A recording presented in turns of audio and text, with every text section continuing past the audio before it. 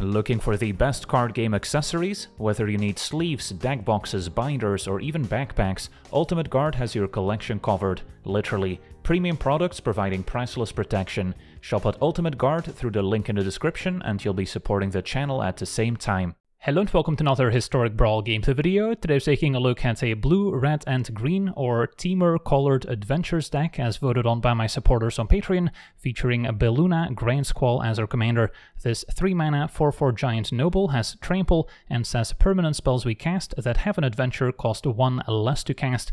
Although we're often interested in seeking thrills first, the 5 mana instant speed adventure mills 7 cards, and then we put all cards that have an adventure from among the milled cards into our hand. So on average, we'll find about 2 adventure cards in this deck to put into our hand, so it provides a nice bit of card advantage. And then by deploying Beluna, it also becomes easier to cast some of the adventures from exile, especially. Beluna is pretty interesting when it comes to paying the commander tax. So let's say we played Beluna, our opponent removed it. Then if we want to seek thrills out of the command zone, it will also cost 2 more mana, so it goes up to 7. But after we seek thrills, we put Beluna in exile, then it will always cost 3 mana to play. So it's not not gonna have a commander tax after we use the Insta-Speed Adventure, so that's pretty convenient. Now taking a look at the rest of our deck, I've split it up into a few different categories. So for a quick overview, we've got some mana acceleration to get more mana going, since we do want to cast some expensive adventures. Then we've got a few cards that are payoffs for playing adventures or that synergize with adventures in some other way. We've got a few ways to generate card advantage besides our payoffs. Then we've got some interaction and some must-haves in any Temur colored brawl deck. And then we get to the biggest section, which are all the adventure creatures, but we've also got some non-creature adventures that will of course synergize with the rest of our deck. So starting out with a ramp section, we get a new addition in Utopia Sprawl, which can enchant a forest, and then we'll make an extra color after we tap that forest. So important to have enough forests in the deck. Besides all the basic forests, we also have some non-basic forests. Cards like Cinderglade also have the forest type, so important to have enough of those to enable Utopia Sprawl. And then we've got some 1 mana ramp creatures with Elvish Mystic and Llanowar Elves, and then Halfling also makes it easier to cast our commander while making it uncounterable then at 2 mana there's Explore and Growth Spiral to draw and play an extra land, and then Into the North can find a snow land and put it on the battlefield tapped. That's why you see all these snow-covered basics in our mana base to search up with Into the North. And then we've got some 2 mana ramp artifacts with Arcane Signet and Cold Steel Heart, not playing the colorless ramp artifacts that's 2 mana because we do have some pretty intensive color requirements with our commander. And then we've got some 3 mana ramp artifacts with Midnight Clock making blue mana and eventually refreshing our hand. And the Celestus also gives us a bit of card selection as it switches between day and night. Then Cultivate finds two basics, one in play, one in hand. Harrow has to sacrifice a land to find two basics and put them on the battlefield untapped, so we can still potentially tap them for mana in the same turn. And then Uro also has excellent synergy in this deck, as we end up milling quite a few cards with Seek Thrills, so we could randomly mill Uro and then end up escaping it, and then it can put additional lands in play, draw cards, and gain life. And Primeval Titan is both a payoff card as well as more ramp, finding two lands when it enters the battlefield and whenever it attacks. So some of our utility lands include Castle Garenbrig, which can make more mana to cast some of our expensive creatures, as well as the Edgewall Inn, which can uh, fix our colors and then can also be sacrificed to return an adventure from our graveyard to our hand.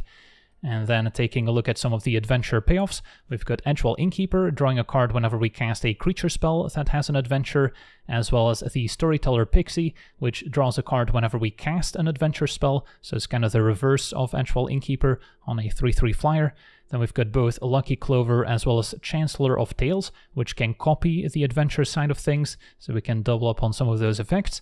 We've got Sentinel of Lost Lore, which can also act as Graveyard Hate, but sometimes can also send one of our adventures back into our hand, so we can redeploy the adventure side of it.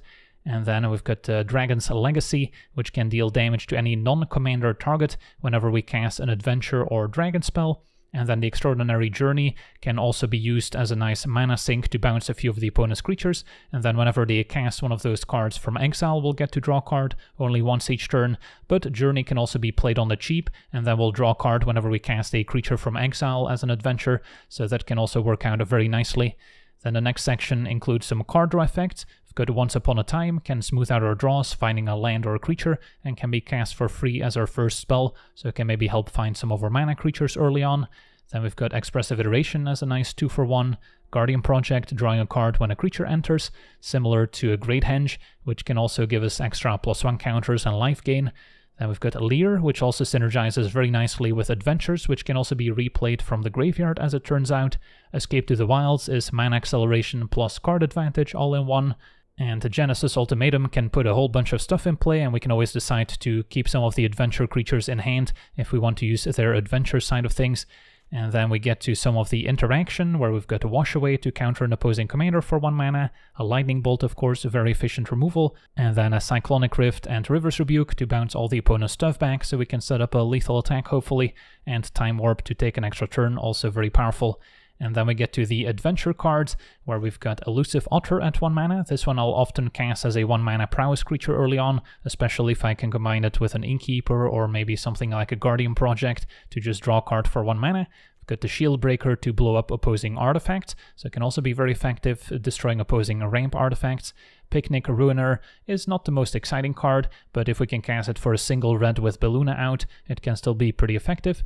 Got the Scalding Viper, bouncing something with the adventure, and then a 2-1 creature, punishing the opponent for casting cheap spells. And then Bramble Familiar is often just a 2-mana ramp creature, although we can pick it up in the late game to then still use the adventure later. There's a Questing Druid, where we first want to seek the beast for 2 mana, often during the opponent's turn, so we can untap with more mana and potentially play all those lands and cast those spells from exile, because it's only until our next end step, so it's not like there's other impulse effects. And then whenever we cast a spell that's white, blue, black, or red, we can put a plus 1 counter on the Druid, so of course also has great synergy throughout. There's a Frolicking Familiar, potentially dealing 1 damage to any target first, and then can pick up plus 1 plus 1 until end of turn whenever we cast an instant or sorcery spell on a 2-2 flyer. We've got a Brazen Borrower, another classic adventure creature, giving us a nice bounce effect, and then a 3-1 flyer that can only block opposing flyers. Got Bonecrusher Giant, dealing 2 damage with Stomp, and then a nice 4-3 creature afterwards. Can potentially cast it for 2 mana with a Beluna in play, so that discount can also come in handy. Two-handed axe can be an instant speed trick, giving one of our creatures double strike until end of turn, and then the equipment can also double a creature's power. So if we can use both in the same turn, we can potentially set up a one-hit KO. We've got a Lovestruck Beast making a 1-1 human and then a 5-5 creature afterwards, and then Acolyte, another ramp creature. Especially nice if we can use the seasonal ritual with some of our adventure payoffs in play to essentially draw a card for free. And then we continue with a young red dragon and a grabby giant making a treasure token with her two-man adventures, and then some decent creatures afterwards. We've got a monster manual, potentially finding some creatures in the top 5, and then we can put them in play with the two-man ability. We've got Tempest Hart giving us some card selection with the adventure, and then a 3-4 creature that can grow over time got uh, the Illithid Harvester, which is actually pretty effective at tapping a whole bunch of creatures down and then potentially converting them into 2-2 horror creatures, so it can also be very effective against opposing commanders. Two-Headed Hunter, another double strike adventure for 2 mana, and then a 5-4 menace afterwards. Virtue of Courage, similar to Stomp, the enchantment side of things, not too exciting, but just having a 2 mana instant speed adventure to deal 2 damage is good enough. Beanstalk Wurm can also help us ramp with Plant Beans for 2 mana, and then a 5-4 reach afterwards. We've got the Loch Whale giving us a 2 mana removal spell potentially, and then a 6-6 Flash Ward 2 afterwards, even though it does come into play tapped, so it's not going to set up an ambush. We've got the Hearth Elemental, which can be cast for pretty cheap if our graveyard's full, and then we can also use the Adventure, hopefully when we're empty-handed, to discard our hand and then draw two. Stormkeld Vanguard can bear down opposing artifacts or enchantments for 2 mana, and then a 6-7 creature with a bit of built-in evasion, and then the Sword Coast Serpent gives us a 2 mana bounce effect for opposing creatures, and then a 6-6 that can potentially become unblockable if we've cast a non-creature spell this turn, and finally, Beanstalk Giant, another 3 mana ramp card thanks to Fertile Footsteps, and then and Toughness equal to the number of lands we control. So some of the adventure cards aren't super powerful, but that's of course the cost of playing Beluna as your commander. You do want to include enough adventure cards to make the deck function. And then our mana base has a lot of mana fixing, a lot of forests as well to enable Utopia Sprawl, and then we covered some of the utility lands that we might get with Primeval Titan. Now we could also consider playing some of the new creature lands from Wilds of Eldraine, which can be quite nice, especially when searched up with Primeval Titan, but since we're playing an adventure deck, we have so many ways to spend our mana between casting the adventure side of things and then the creature afterwards. We've got a commander that can provide more card advantage, so we're typically not struggling to use up all our mana, and then having a few too many lands coming into play tapped can be a liability, so I decided not to include any. So yeah, that's our deck, now let's jump in some games and see how the deck does. Okay, we're on the play, and we're somehow up against a Ragavan. Not sure what we've done to deserve this. Our hand is fine, but not great against Ragavan. Probably need to find one of our cheaper removal spells. Okay, turn on Elves, I guess is fine. Opponent plays Ragavan, and then... Yeah, we're still not really making much progress. This sadly enters tapped, so I cannot keep up Wash Away with it. So, yeah, maybe I do just play a tapped Falls and then next turn play Elves as a blocker for Ragavan, which is unlikely to work.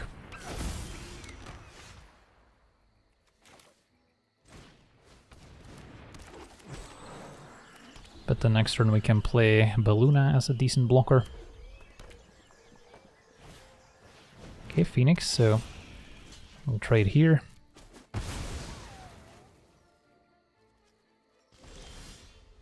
And then, yeah, gotta get Beluna down.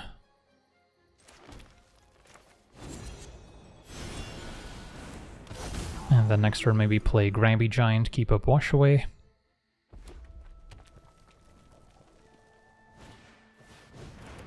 Opponent with a Fury, which conveniently deals 4 damage to a creature. Okay.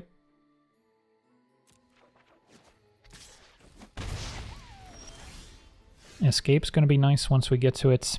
So maybe we uh, plan to use the adventure to make a treasure and then keep up either Wash Away or Serpent to bounce. And then with the treasure we'll be able to cast Escape to the Wilds.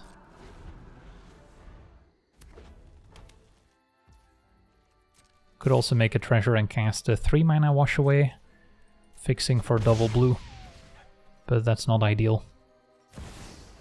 Okay, so we'll Wash Away Ragavan and make a treasure.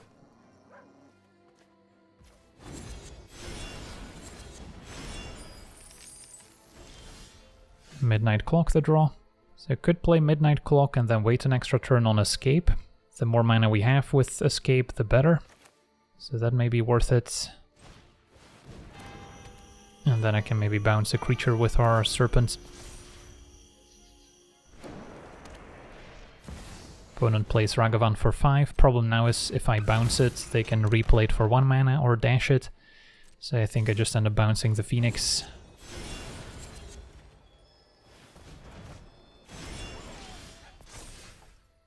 Cultivate can build up my mana even more.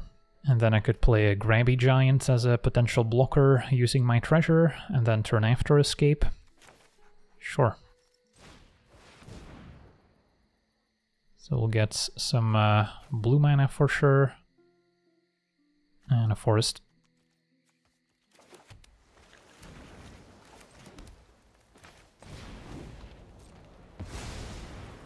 Okay. Hopefully our opponent doesn't have an answer to the Grabby Giants, although wouldn't be too surprised. Opponent's got a bunch of cards left in hand. And there's a Mana Gorger. And a Torbran, that's a good one. Yeah, I'll trade.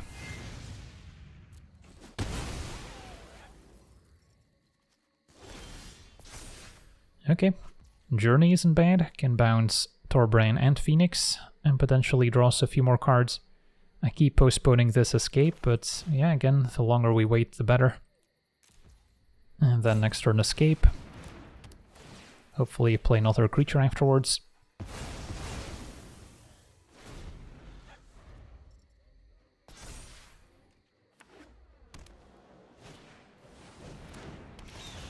Opponent should play Torbran now so we don't draw a second card of Journey since it's limited to once per turn. Okay, Utopia Sprawl is useful, so we can enchant our forest so it kind of pays for itself. And we can fix for red.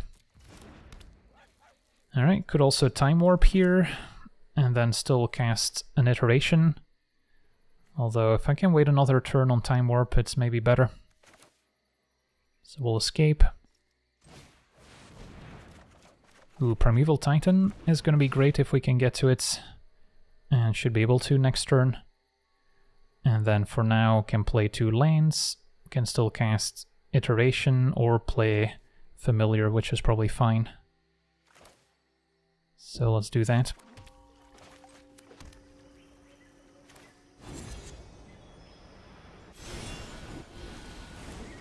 And then can play Primeval Titan and Great Henge, also get to draw off Journey. So yeah, we're kind of going off. Although with the Torbran in play, we cannot feel too safe. A Legion Warboss is a good one. And a Phoenix of Ash. So I think I take it, just have to do the math that we're not dead, because these all deal 2 extra damage. So that's 8, 9, 10, 11, 12, 13, 14, 15. Even with a lightning bolt I'm still fine. And the one extra mana could matter.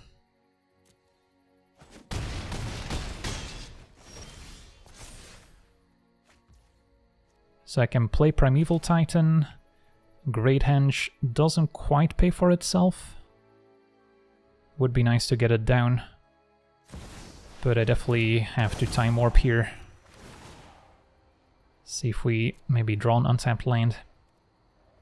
And then get a Castle Garenbrig, plus a land that maybe always enters tapped. Found an untapped land. So now I should be able to play Great Henge and then still play Time Warp afterwards. So three mana, two left, and then yeah, Familiar taps for one as well. So let's just tap manually here because I don't trust the auto tapper.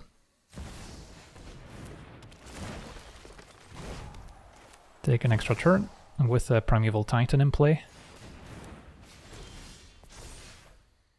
Okay, so still facing Torbran at 8 life, so can't feel too comfortable. But let's see here. So if I play Lozhan, that can maybe mow down some of the opponent's creatures if we cast an adventure. And with a Harvester, we can uh, lock down some of the opponent's creatures. So I think that's going to be the sequence. Start with Lozhan. Might have wanted to use Castle Garenbrig in the meantime. But uh, yeah, let's use Harvester. Can use a sorcery for x equals 2, which isn't enough to kill Torbran with Lozhan. Tap Phoenix of Ash and Mana Gorger Phoenix.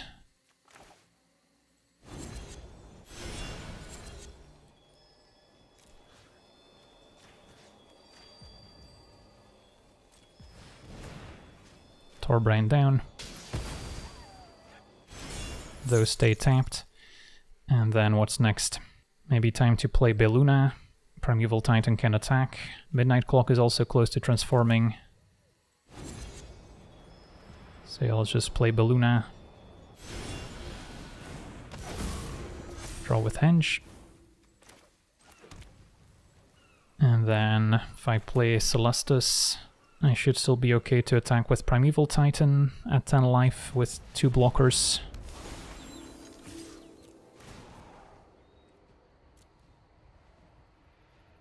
Get a couple more lands that always enter tapped.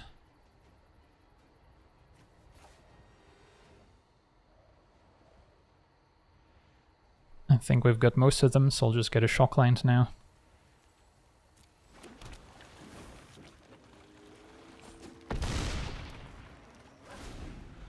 Okay, cross our fingers. Ragavan is 7 mana, so they're pretty far away from casting it. And Lozhan can mow down a few more creatures next turn. We already have the Edgewall Inn on the battlefield, can also maybe get back an adventure at some point.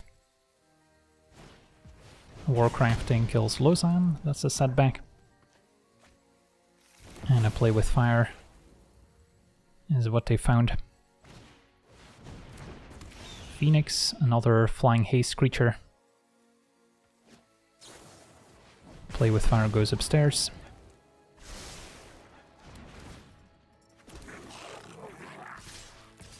And we'll block a Legion Warboss. The 1-1 tokens reconsidering here.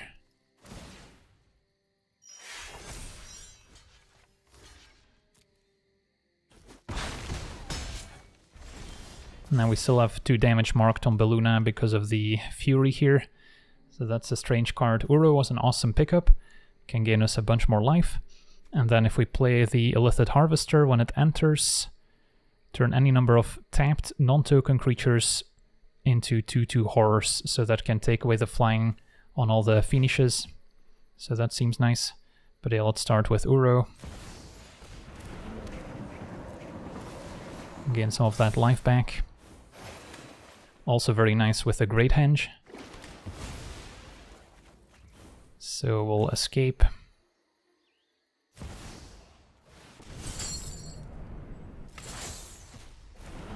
Leave some of those 5 mana sorceries in the graveyard in case we find Lier. Okay, so Harvester to transform the opponent's tapped creatures seems important.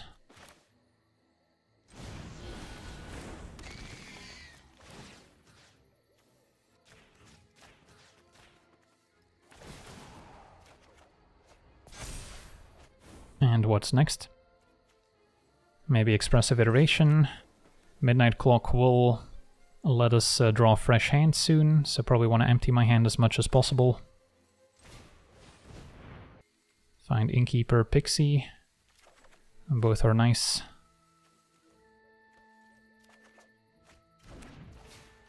Play Innkeeper. Play Pixie. Can still use our burn spells, but now with a two-handed axe we might be able to just close out the game. Give this double strike. I guess it's two mana to play and then another two to equip, so we might be a little bit short. I have four mana left. If we just give this double strike, that's 12 plus another 5, 17. Yeah, we might get there since they both trample and, and can deal two more damage to their face.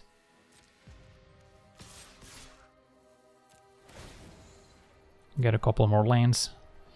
And yeah, our uh, Midnight Clock was about to draw us seven brand new cards.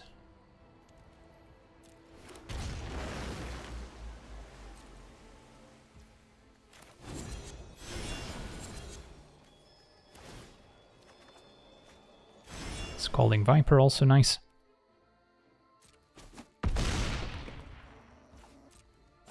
Well, this game was incredibly close. But Primeval Titan plus Great Henge was kind of the turning point, combined with a Time Warp to stabilize. And there we have it, on to the next one. Okay, we're on the play, facing Razaketh the Foul-Blooded. And our hand is decent. Not amazing, but we've got a little bit of mana acceleration, some value creatures. Could play a turn 1 Elusive Otter, could just fetch with Fabled Passage, turn to Familiar and be guaranteed an untapped land on 3, which I think I prefer. And then fetch either basic could work here. Get a mountain.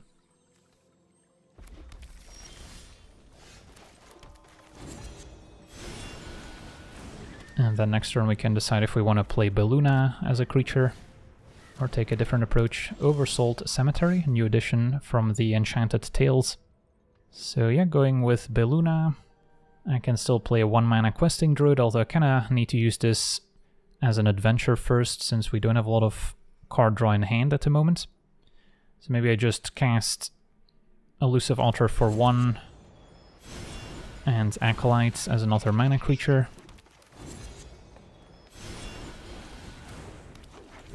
And then next turn we'll use Seek Thrills to find more action. A Ghost Rider, okay. So I can Seek Thrills right now, and then still maybe do something afterwards. Although only have one mana left, most of my adventures are at least two mana. But I guess it does pump the Otter to attack for two. Could also attack with another creature here. So let's try this.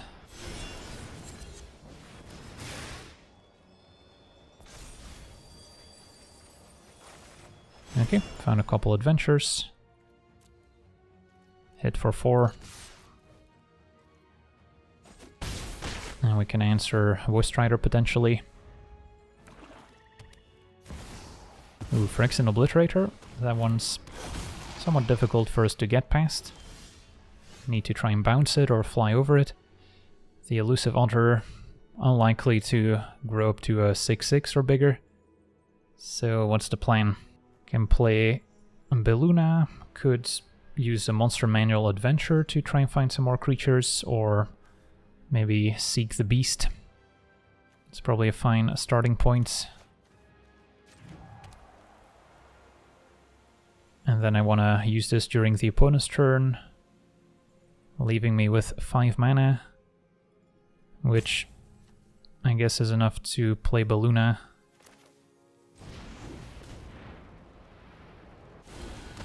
And then still maybe take out Strider.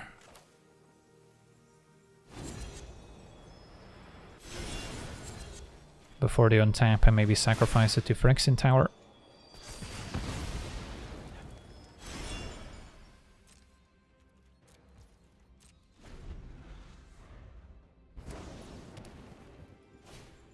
Eldest Reborn, we don't really mind. May as well see what we find. But I imagine the otter is gone.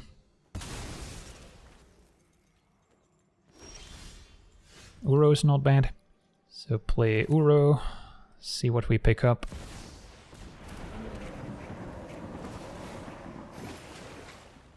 Okay. Could have played the questing druid first to get a counter, I'll play it now. And then I can still play the Edgewall Inn, which can maybe get back an adventure later.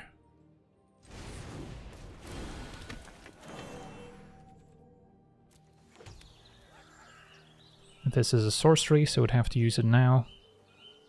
Yeah, sure.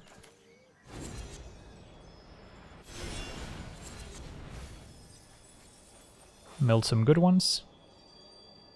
How about Vanguard to destroy either Eldest Reborn or Cemetery?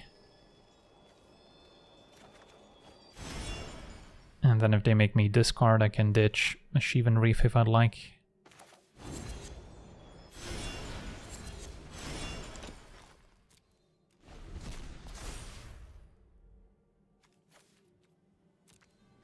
Twelve cards in graveyard, so plenty to escape an Uro.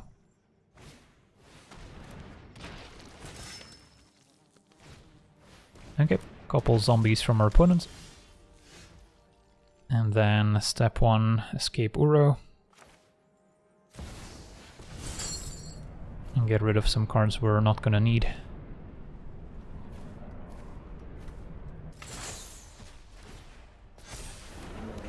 Could have also exiled all my creatures that they might get back with Eldest Reborn. But I imagined just destroying it is gonna be easier. Might have wanted to leave a forest untapped in case we drew Utopia Sprawl, but that's fine. So instead, destroy Eldest Reborn, and then still have 3 mana left, so could play a Monster Manual.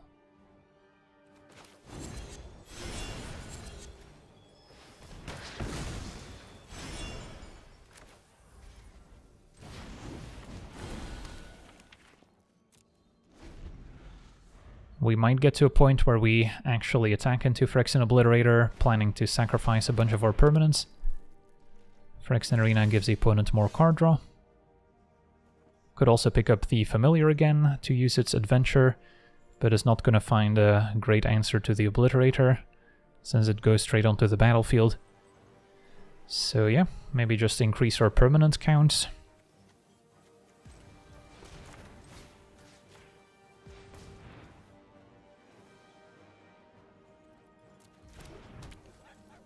Could attack into the Obliterator. They might trade for Hobbling Zombie. And that's fine. Could play Virtue of Courage as something I don't mind sacrificing.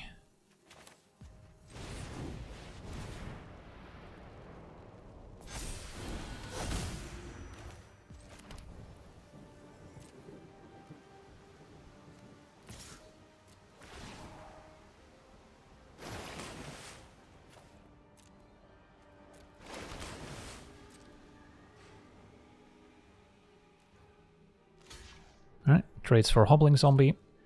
So we just get to escape Uro once again. Opponent also draws with Midnight Reaper.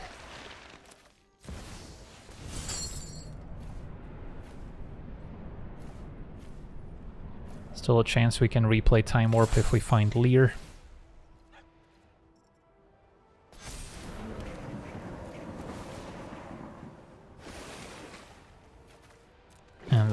Just play a Lovestruck Beast, I think.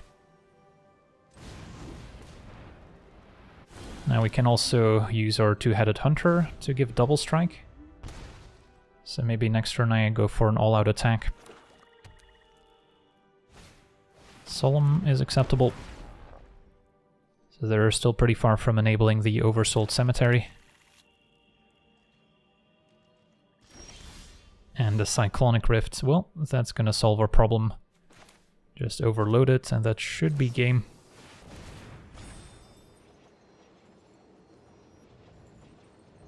They could sacrifice Simulacrum to the Phyrexian Tower, draw an extra card with Reaper, and draw an extra card with Solemn. And try and find some instant speed removal, I guess. Still have our instant speed double strike.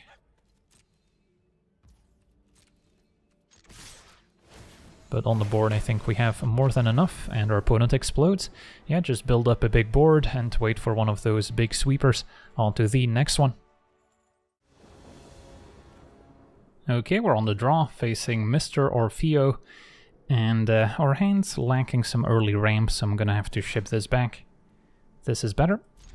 Can maybe blow up an opposing artifacts. Even the same turn we play Celestus.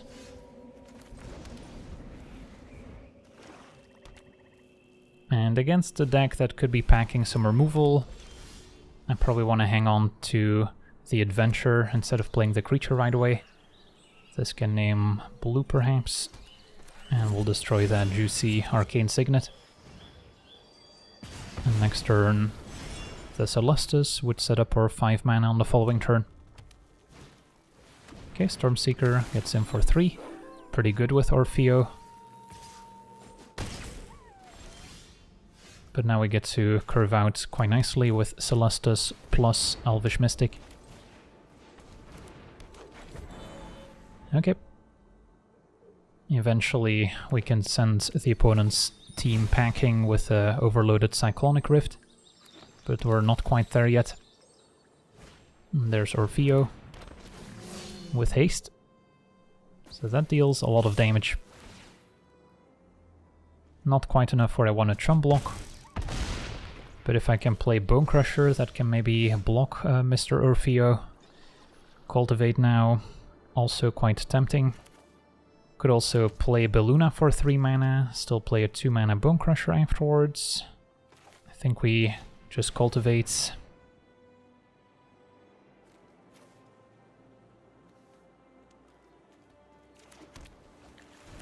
And then I could play 2 mana Shieldbreaker just as a chum blocker here. and take it from there.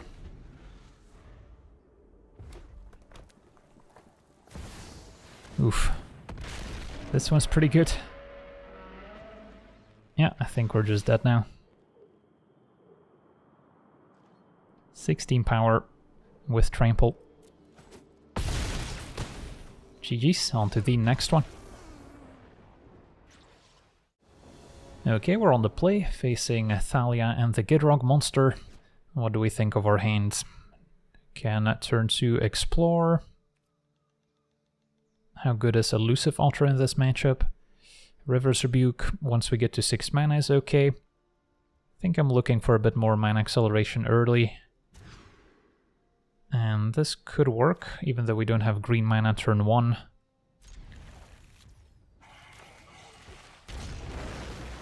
Turn 2 could either Halfling or Mystic.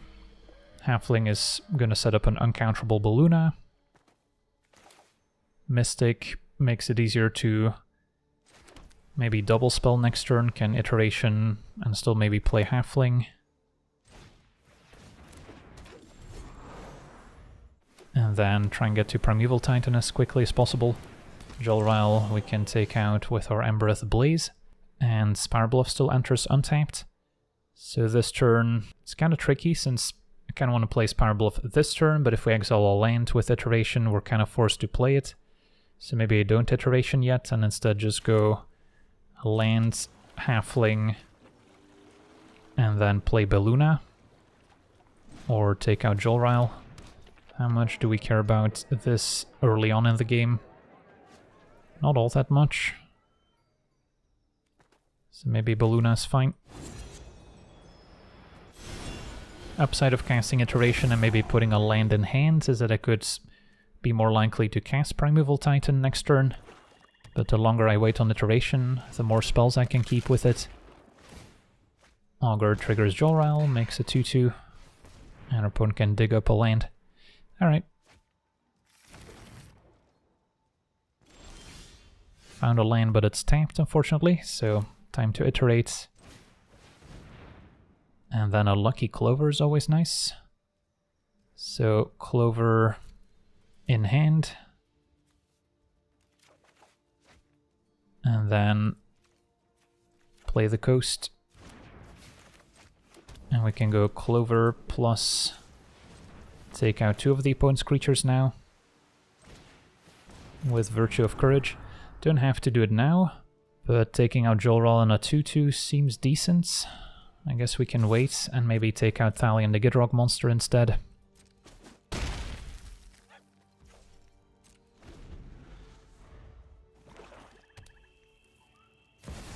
Alright. That works. They get to play an extra land. And attack. Right, let's see if we can take out Thalia.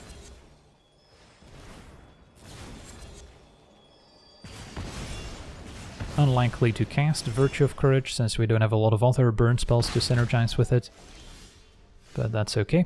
Time to Primeval Titan.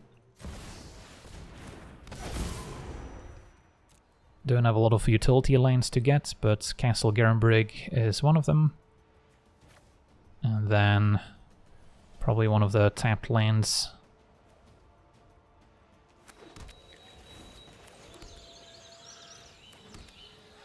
and hit for 4. Okay. Putin can replay Thalia and the Gitrog. Just gonna send everything packing with a River's Rebuke here, I think. Could also use the Adventure, tapping a bunch of creatures. Yeah, let's just Rebuke.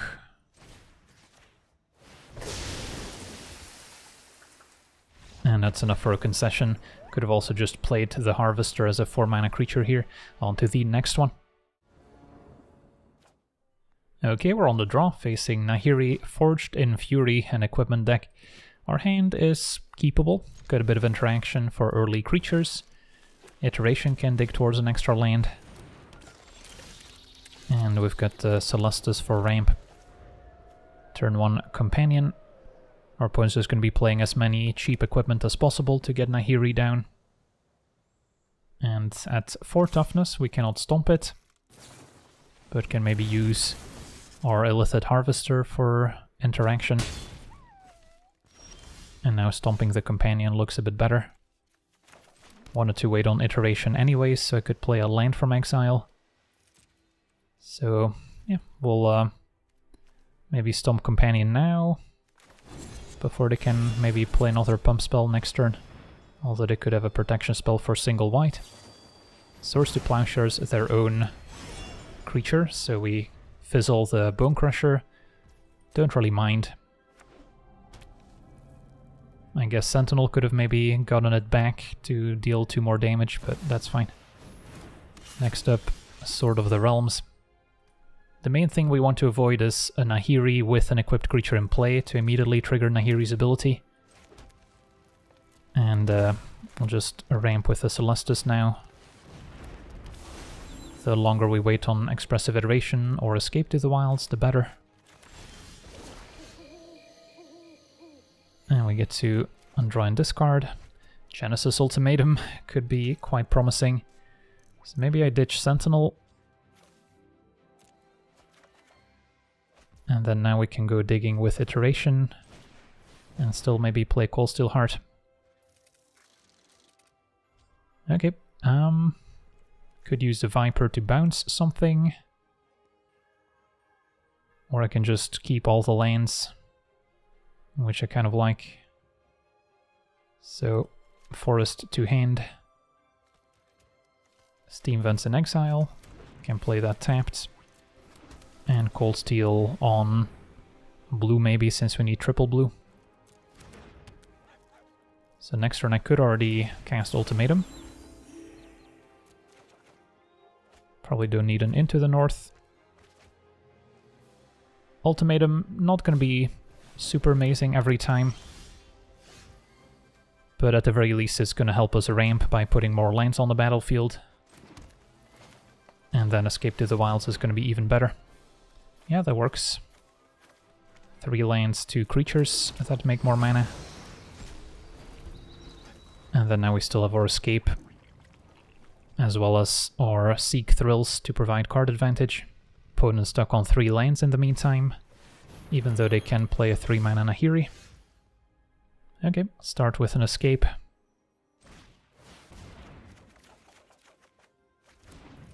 Can play a couple of those lanes for sure.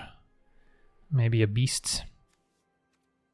So let's adventure. Question is whether we want to adventure Beluna or just cast it as a creature to apply a bit more pressure here. I think I still want the adventure for extra cards. Because we don't have all that many exciting cards in hand. So we can Harrow, get more basics.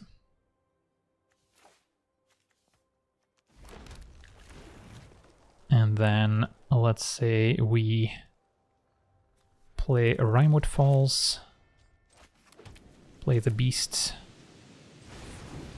and the Llanowar Elves, and then we can attack.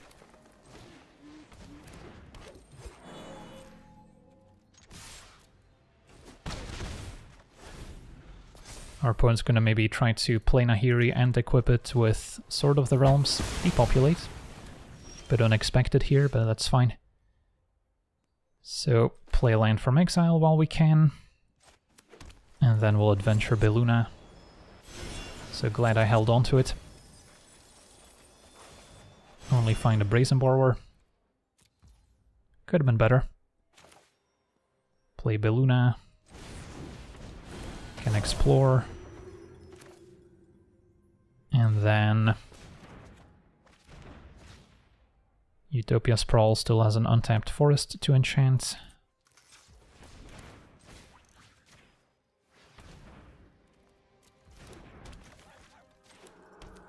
Could also play Harvester at some point, but uh, kind of waiting for our opponent to present a creature we can take out. So for now, maybe pass a turn, or I can play a Frolicking Familiar just to start applying more pressure.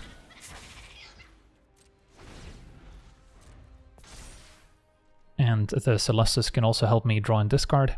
So yeah, all things considered, after casting Ultimatum and uh, an escape to the wilds, we didn't end up with a ton of stuff left over. Nahiri kills familiar, that works. Do I play Brazen Borrower? No, I'll keep it as instant speed interaction. And then we can activate Celestus. Discarding a forest at the very least. Okay. Picnic Ruiner isn't bad here.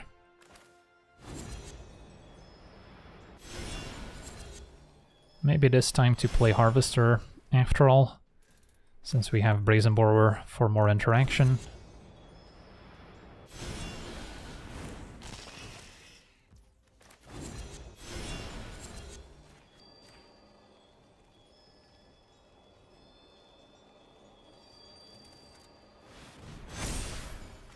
Play the Picnic Ruiner, and then we should probably take out Nahiri first. Possible our opponent's got another board wipe lined up, but then we can pick up our Beluna again and use the adventure for card advantage.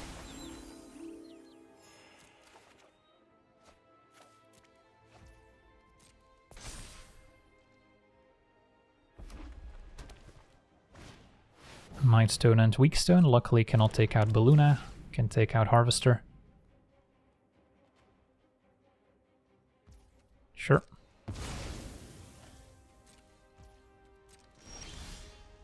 Activate Celestus. Can cycle Thicket.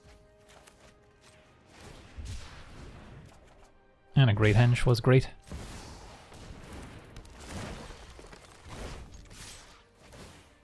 Ruiner gains double strike.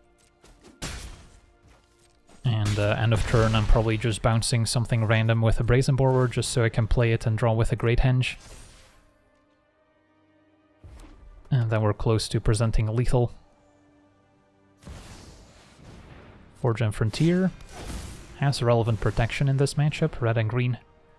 Opponent plays Nahiri. Can uh, bounce it end of turn.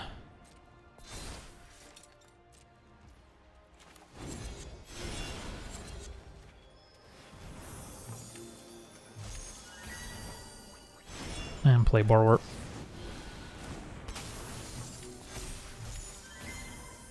Can make a treasure if we'd like, and then maybe sacrifice some lands next turn to go digging.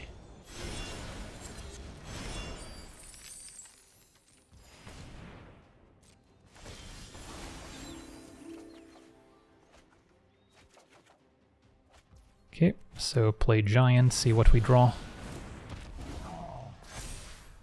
A land. Can uh, play a Dragon, see what we draw. land.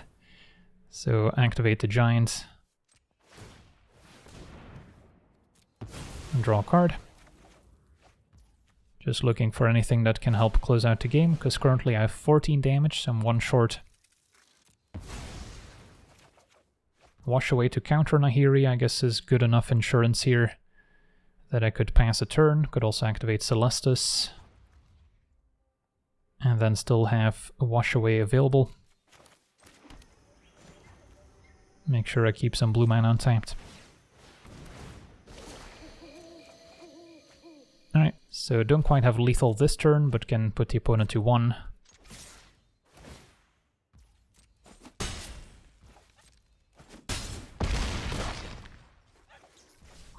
And a wash away is good enough here.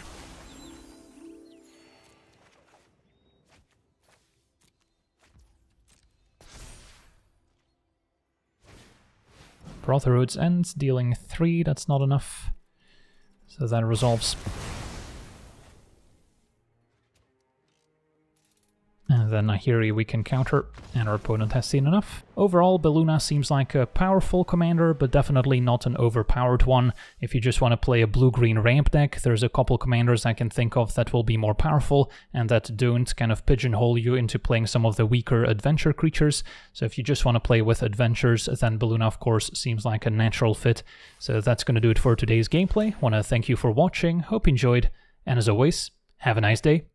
I also want to thank all my patrons for being part of the channel, and you can become a patron yourself today and decide the topic of future videos over at patreon.com forward slash LegenVD.